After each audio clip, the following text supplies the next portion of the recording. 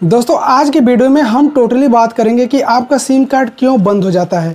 आप देख सकते हैं, मेरे पास बहुत सारा सिम है ताकि आपको विश्वास हो सके कि मैं इसके बारे में अच्छी तरीके से जानता हूँ। तो दोस्तों, आज की वीडियो में हम आपको बात करने वाले हैं कि आखिर आपका सिम कार्ड जियो हो BSNL हो आइडिया हो, वोडाफोन हो या एयरटेल हो, किसी भी कंपनी का सिम हो, वो क्यों बंद हो जाता है, कौन बंद करता है? क्या आपका सिम जो है आपका सर्विस सेंटर वाले बंद करते हैं, आपके कंपनी वाले आपका सिम बंद करते हैं, आपके मन में डाउट रहता है कि मेरा सिम आखिर क्यों बंद हो गया? मतलब आप सोचते हैं कि मैंने इसमें कोई भी छेड़छाड़ नहीं किया, लेकिन मेरा सिम जो है पूरी तरह से बंद हो गया। आपको पता भी नहीं चला, आपका सिम जो है नेटवर्क छोड़ देता है और आपका सिम पूरी तरह से क्रॉस हो जाता है और आपका सिम जो है बंद हो जाता है। लेकिन मैं आपको बताऊँगा कि आप सिम आपका सिम बंद होने का मेन कारण क्या होता है और कैसे बंद होता है। दोस्तों, मैं आपको सपोज़ दैट बताता हूँ कि ये आप देख सकते हैं क्या है।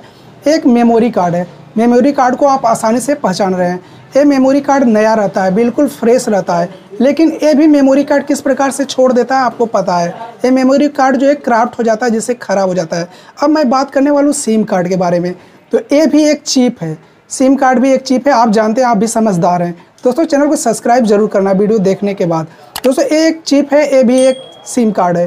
दोस्तों, ये भी क्रॉस होने का मेन कारण होता है कि ये आपका सिम जो है चलते चलते ऑटोमेटिकली जो है पूरी तरह से बंद हो जाता है। लेकिन ये आपका सिम जो है आपके कंपनी द्वारा बंद नहीं किया जाता है। आपका सिम कंपनी में पूरी तरह से ओपन होता है। सिम आपका वही सिम बंद होता है। जब सिम आपका बहुत दिनों से रिचार्ज नहीं होता है, जैसे तीन महीने छः महीने और मतलब छः महीने से ऊपर का जो सिम रिचार्ज नहीं होता है, या अब तो मैक्सिमम माना जाता है नब्बे दिन तक कोई सिम पे रिचार्ज नहीं होता है तो सिम को जो है बंद कर दिया जाता है कंपनी के द्वारा। लेकिन कंपनी आपके सिम बंद नहीं करती है, आपने रिचार्ज करवाया है, आप सुनते हैं कि मेरा सिम जो है एयरटेल है, जियो है और बंद हो गया।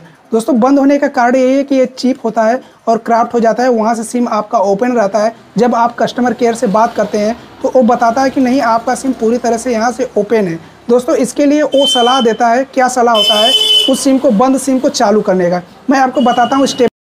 दोस्तों सपोज़ दैट मान कर चलिए कि आपका सिम जो है एयरटेल है, और एयरटेल सिम बंद हो गया तो आपको करना क्या है? सिंपली आपका एयरटेल सिम जो भी है, जिसके आईडी पे वो आपको पता होगा। यदि नहीं भी पता है तो आप किसी दुकानदार के पास जाइए और उसे चेक करवाइए कि किसके आईडी पे वो बता देगा। यदि आपके आईडी पे रहेगा तो ओरिजिनल आधार कार्ड लेकर जाएँगे और आपका सिम पूरी तरह से एक्टिवेट हो जाएगा।